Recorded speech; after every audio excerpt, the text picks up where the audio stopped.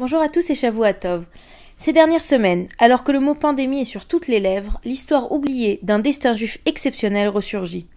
Laissez-moi vous faire découvrir aujourd'hui la vie et l'œuvre du médecin et bactériologue Mordechai inventeur de vaccins contre la peste et le choléra, un sauveur de l'humanité. Il naît à Odessa en 1860, capitale juive de la Russie impériale. Sa famille étant une famille juive très assimilée, Mordechai va recevoir l'éducation prônée par le mouvement assimilationniste de la Haskalah.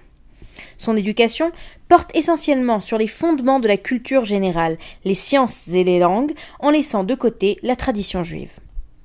Personne ne lui apprend à déchiffrer l'hébreu ou à parler yiddish.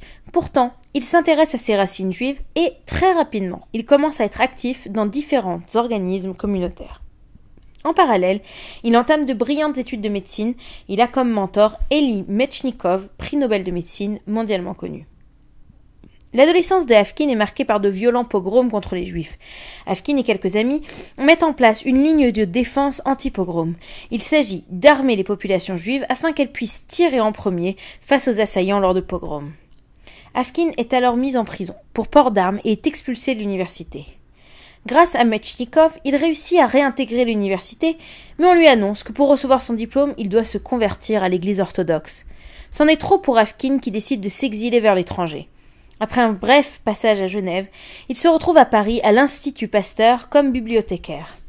C'est la grande époque de la recherche en bactériologie, et Afkin, bien que bibliothécaire, réussit à se faire remarquer par Pasteur lui-même. Quand ce dernier lui demande de se présenter, Afkin répond par les simples mots je suis juif. À l'Institut Pasteur, Afkin pense avoir trouvé un vaccin contre le choléra, maladie qui tue encore énormément à cette époque. En cherchant un endroit pour expérimenter son vaccin, il se tourne vers l'Inde et part y vivre en 1894. Son vaccin est une grande réussite et très rapidement il devient une personnalité publique. Quand une épidémie de peste se déclare, Afkin réussit en quelques semaines à mettre au point un autre vaccin. C'est ainsi qu'il rentre dans le panthéon des sauveurs de l'humanité du XIXe siècle. Afkin va vivre au total 22 ans en Inde. Les autorités lui aménagent un grand laboratoire qui porte son nom et dans lequel il développe de nouveaux vaccins qu'il diffuse dans le monde entier. C'est aussi durant cette période qu'il se rapproche de la célèbre famille Sasson à Bombay. Et c'est en les côtoyant qu'il y devient pratiquant. Bien plus que ça, on le retrouve souvent en train de parler aux soldats juifs des forces coloniales anglaises pour les encourager à garder les mitzvot. En 1902, Afkin est pris dans la tourmente quand 19 personnes meurent après avoir reçu un de ses vaccins. Bien que l'enquête prouve que la cause de la mort résulte de la négligence de la part du médecin, la carrière de Afkin s'en trouve très affectée. Beaucoup à cette époque y voient une attaque antisémite décidée à le faire tomber. La réhabilitation de Afkin quelques années plus tard ne lui permet pas de retrouver son statut d'antan, et il envisage de se rendre en Eretz Israël, où un poste à l'université hébraïque de Jérusalem l'attend.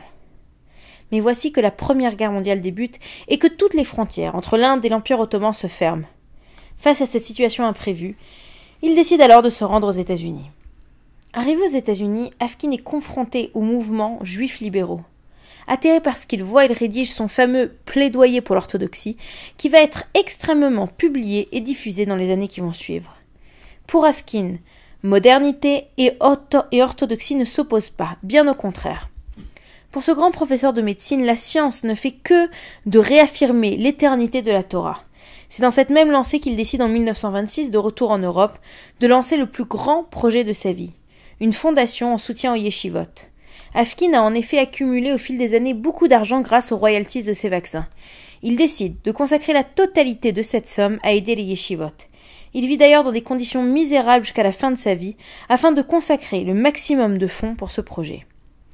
Afkin disparaît le 26 octobre 1930 à Lausanne en Suisse et le monde entier se souvient de ce géant de la médecine.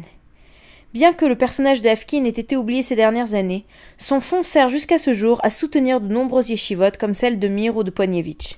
Une vie investie à sauver des corps et des âmes.